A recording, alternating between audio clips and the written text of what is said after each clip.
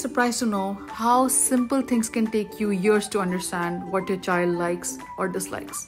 My son has never been a fan of a lot of water, lack of control, and my doctor said it's all okay, it's his choice. So, in order to fit his bath time routine into his schedule, I made sure I made some adjustments. I put some toys, put a little stool so he can have more control.